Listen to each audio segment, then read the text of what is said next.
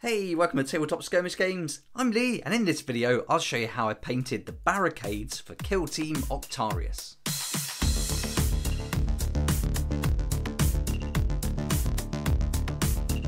In the core book, there are a few images of the barricades, and so I wanted to use those as a reference for the way I painted them. And here you can see they're kind of a grey colour, but with a little bit of a dusty, almost dirty look. And this is the effect I got with just base coat and two paints. So uh, this video, I'll show you exactly how I did it.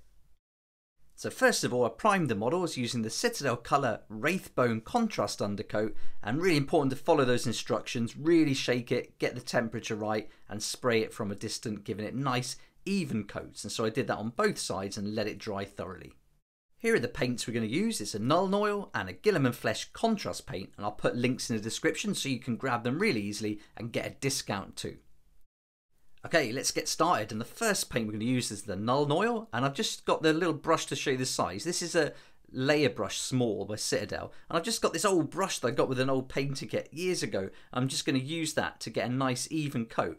It's not an expensive brush by any means, but the bristles are really soft and it's great for doing something like this. And with the Nuln Oil, you've got plenty of time to work with it. So when you want to do a pretty large surface like this and give it a nice even coat, having bigger bristles makes it a lot neater. You get a better finish and it also gives you a lot more time because you've got more paint on your brush. You're not going in and out of the pot and it's also not drying up on the brush too. So I'm just going over doing these raised areas first and then working into the more smoother areas trying to use the textures and contours of the piece to kind of almost wipe the paint off the brush. So I'm starting and ending my brush strokes almost where I want most of that paint to build up. And that's a technique I use a lot with the contrast paints too.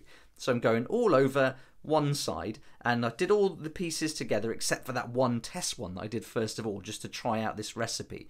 And so when I did all five, I did this side with these two raised pieces and I let that completely dry before doing the other side, and that just helped it um, much easier because if I did the other side first and let that dry, when I turned it, a lot of it would be in contact with the board, and I didn't want that to happen. So here we go. You can see I've got all the different pieces now coated and it's completely dried and these look really great. I think we've got a nice grey colour. It matches very closely to the image but now we want to make it this dirty dusty look. I don't want it to look rusty and I don't want it to look metallic either so I want it to contrast with the Ork terrain. So that's why I chose to use Guilliman Flesh. And now I'm going to go on to the Kolinsky number 2 brush. And this is a little bit smaller, but really nice pointy bristles. And this is going to really help us do some line work here. But first of all, I'm going to go over all the rivets and put a nice amount of paint in there and then dot it on. Again, we don't want it to look rusty. This is more like dust and dirt and mud. And we don't want it to look rusty and, and clash with that Ork terrain because this is almost kind of been brought along by the Krieg um, troopers. So that's the way we want to kind of go with it. So really playing into that narrative. So I'm going over all these little dimples and then I'll go in and just do lines down every little recess. So I'm just following the pattern on the piece and then just put in a little thin line. And I'm not even trying to be really careful here.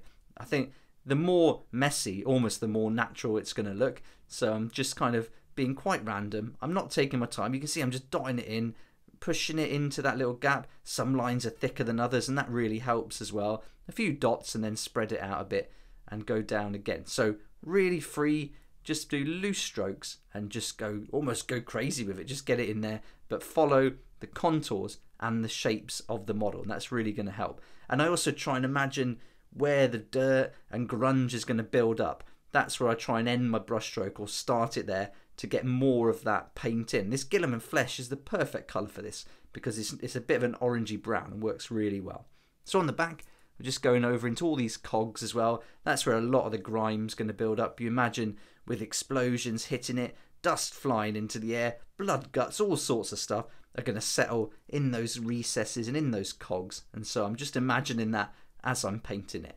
And that's really all there is to it. This is such a simple process. I was really happy that it worked. Just using these two paints on top of that primer, I'm really happy with the result I got from it. And it saved a lot of time. It's quite fiddly. Doing this six times, quite repetitive, but I think it's worth that little bit of effort for a tabletop ready piece that I think looks really nice. So I was really happy that the two paints worked. And here we go, here's the finished piece, completely dried. I think it's got a really nice cartoony look. That Guilliman Flesh really has brought out that earthy, dusty look, and it kind of matches the board that comes with the Octarius set too. So you can see on both sides there, all six are painted. And here we've got an Ork hiding behind one just to show you what it looks like from really flat on the table. And then one of the Death Korps of Krieg there, he's also hiding behind it. So yeah, really happy with how this worked. And um, hopefully this is going to help you to get some pieces tabletop ready really fast. I'll put a list of all the paints I use in the description below, and I'll also link those to Element Games and Wayland Games, where you can save up to 20% off the RRP of all these paints. And you can also pick up the main game there with some great discounts. At the moment, Kill Team Octarius at Wayland Games is going for 111.90, so you're saving 10%. But Element Games are doing it for 99.99, so you're saving a huge 20% there. So I'll put links to all this in the description. There'll be affiliate links, but they won't cost you anything extra. You'll save all that money, and you also support the channel as I get a small commission too. So thanks so much for that. If you'd like to check out my other videos, I've done some on how to build the Krieg kill team, an Ork Kommando kill team using the models from the Octarius box set. I've also done a review and unboxing of two of the dice packs and an unboxing of the main game. And there's loads more content. I'll be painting all the different parts of it, the different models, the terrain, and going through a complete rule series as well. So look out for all that already on the channel and coming really soon. I hope you enjoyed the video and I hope this gave you an idea of how you can quickly and easily get these painted up, tabletop ready. I'm in quite a hurry to get this game painted and ready for battle. I can't wait to make videos, play in some games and go through all the rules. It's a really awesome set with some great pieces. But let me know what you think in the comment sections below. I'd love to hear from you. But for now, thanks so much for watching. Please like if you like it, subscribe for more videos like this, and don't forget to hit the notification bell to join me next time on Tabletop Skirmish Games.